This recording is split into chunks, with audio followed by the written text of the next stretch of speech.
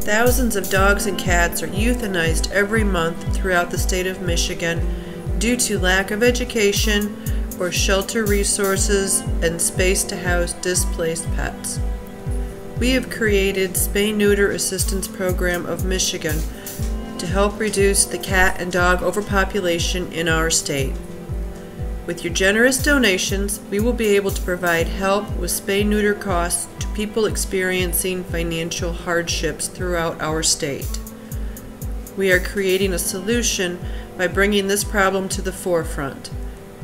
It's time we take responsibility and put an end to the senseless killing of these unwanted animals.